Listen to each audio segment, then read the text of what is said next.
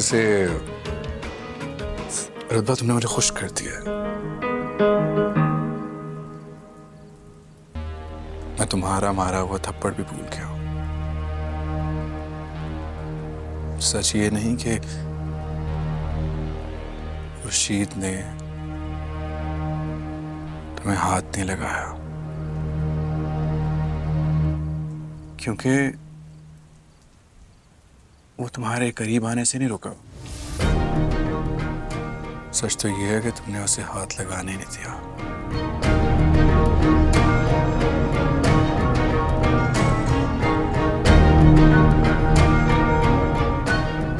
क्योंकि तुम यही समझती हो कि तुम अल्तमश की अमानत थी और अल्तमश की अमानत रहोगी। यही बात है ना? रुतबे की ही बात है ना? जवाब दो। जवाब दो ना रुतबा हाँ? जवाब दो ना रुतबा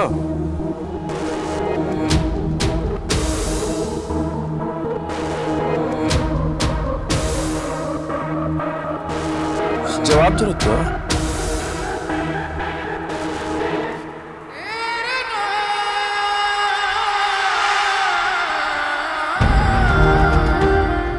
खुर्शीद।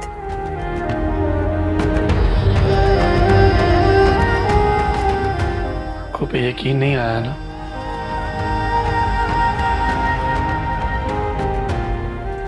मुझे भी नहीं आया था एक लम्हे के लिए।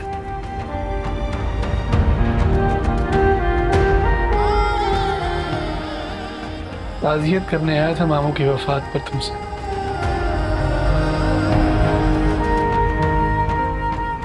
लेकिन अब लगता है खालू से ताजियत करनी होगी। उन्हें बताना होगा कि खालू आप तो ज़िंदा हैं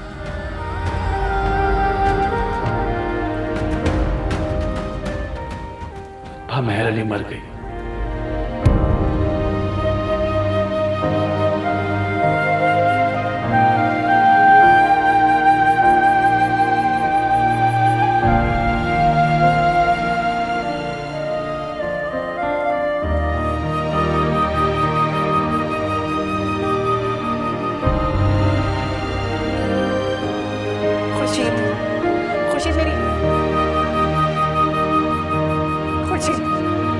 खुर्शीद प्लीज़ मेरी बात सुनो।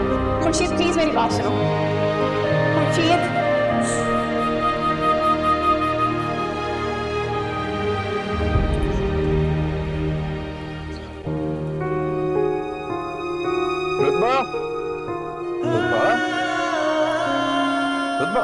खुर्शीद खुर्शीद प्लीज़ रुको। प्लीज़ प्लीज़ प्लीज़ प्लीज़ मेरी बात सुनो।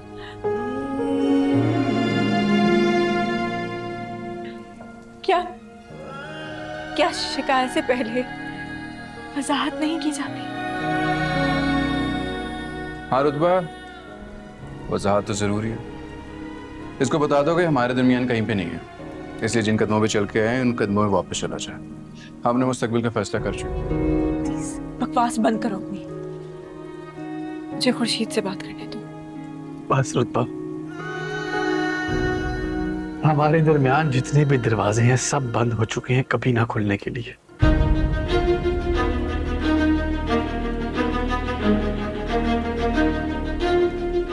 मुझे तुमसे कोई वजाहत नहीं चाहिए। मुझे तो तुमसे कोई शिकायत ही नहीं। शिकायत तो मुझे अपने दिल से।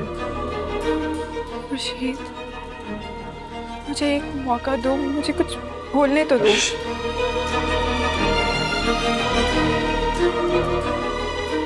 मरे हुए लोग बुला नहीं करते।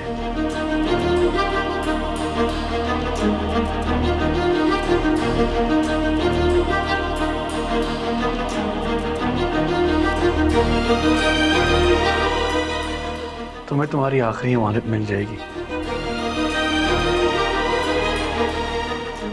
खुश रहो।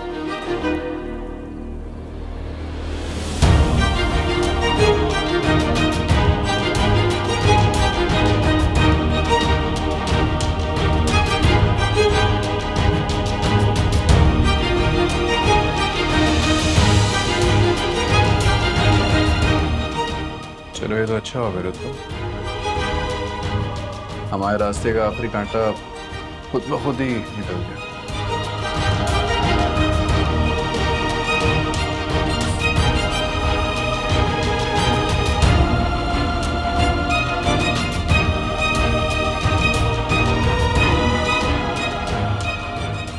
वैसे सियाने सही कहते हैं।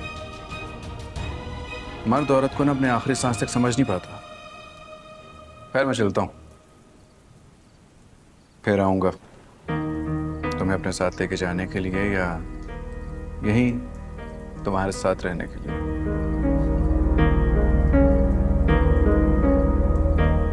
तुम्हारे कहने पे मैंने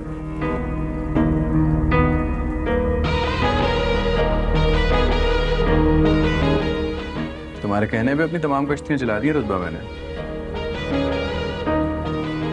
अब पीछे मुड़ने की ना तुम्हारे पास कोई गुंजाइश है, ना मेरे पास।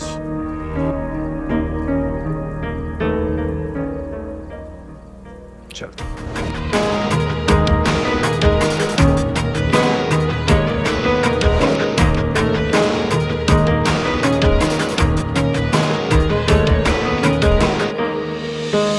Thank